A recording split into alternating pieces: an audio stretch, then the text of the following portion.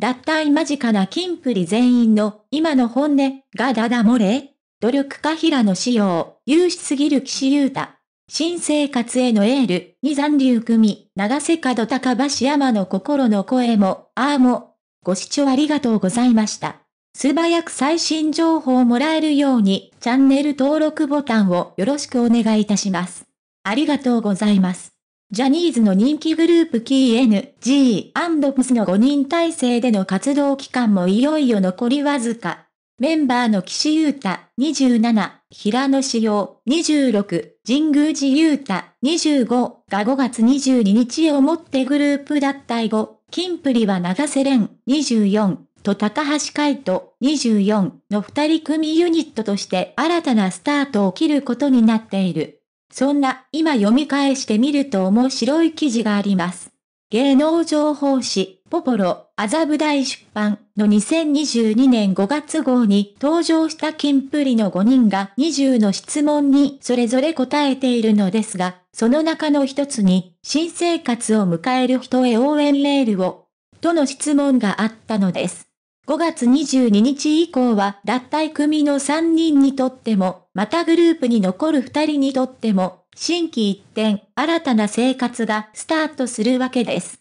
今このタイミングで読み返してみると、まるでお互いがお互いの新生活にエールを送り合っているかのように読める記事なんですよね。情報指揮者。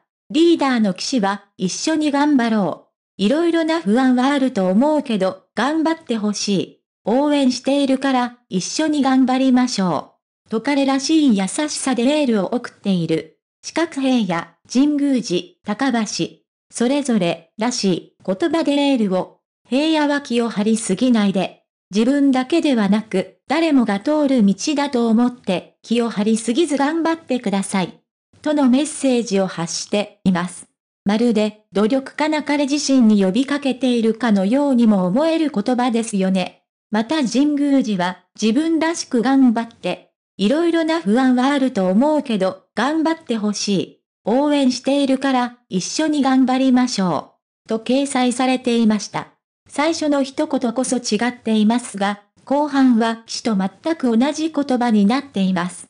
ひょっとしたらこれ、間違ったコメントが掲載されてしまっていたのかもしれませんね笑い。前での情報指揮者。一方、キンプリに残ることを決めた二人はというと、高橋は自分をしっかり持っていこう。とっても素敵な生活は待っているよ。自分自身をしっかり持って一緒に頑張ろう。と新生活への不安を払拭させてくれるような前向きなエールを送っていました全道。四角長瀬は自身のモットーをエールに変えて、高橋と同じくキンプリを継続していくことを決意した長瀬は、とにかく楽しいんでほしい。人生の変わり目だからこそ自由に自分が楽しむことを一番に考えていってほしいな、との言葉で新たな生活をスタートさせる人にエールを送っている。長瀬自身少々不安なことがあったとしてもまずは全力で楽しむ、思っとうとしているのでしょ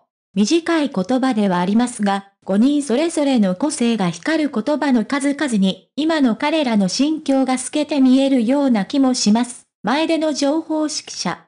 これから進むべき道は別々のものになってしまうかもしれないけれど、今、それぞれの胸には仲間たちへのエールが渦巻いているのかもしれない。